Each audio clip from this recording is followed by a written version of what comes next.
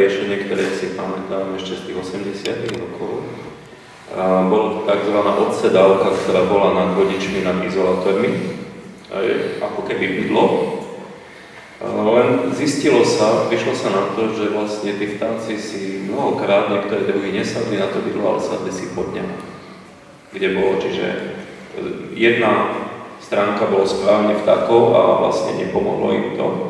Druhá vec, my ako energetici sme to nemali tiež radi veľmi, pretože si sadli na izolátor a svojimi experimentami, experimentami zašpinili izolátor a tie experimenty sú vodivé a spôsobovali výpadky elektrického prúdu. Aj dneska k tomu dochádza na vedenie vysvetlého napätie, kde sa nedokáže zabrániť dosadnutiu vtaku alebo pri vzlete, aby vlastne mám z toho zábery, keby ste chceli vidieť, ako to vyzerá, aký prúd tam tečie.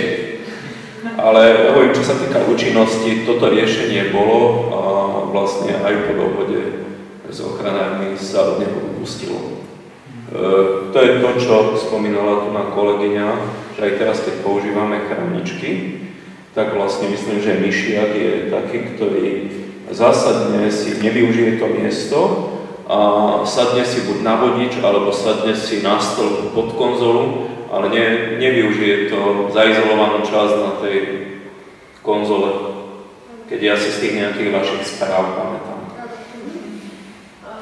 Áno, tým vtákom napríklad ostali tie možnosti aj na tých stĺpoch, lebo vlastne e, je stĺp a potom no, pripevnená konzola e, smeruje nahor a na tom stĺpe stále má možnosť ten dravec sedieť a to je bezpečná plocha pre ňoho prakticky, takže stále tam ostali miesta, kde vlastne tie, tie vtáky môžu dosadať bezpečne.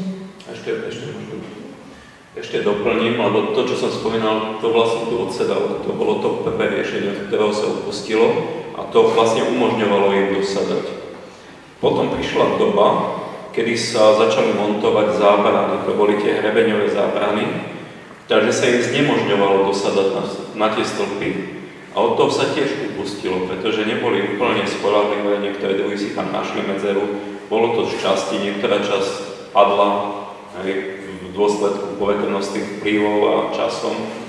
No a oni našli práve to miesto, ktoré, kde si mohli sadnúť a to miesto bolo nebezpečné a takto posledné riešenie, ktoré sa dneska používa, sú tie konzolové chráničky, ktorých princíp je v tom, že tá kovová časť je zaizolovaná a na to, aby krídlami neprekynuli vzdialenosť medzi dvoma fázami, tak je taký zub na kraji jednoduchej konzoly, ktorý keď tie krídla roztiahnu, tak im bráni k tomu, aby sa nedotkli vodiča.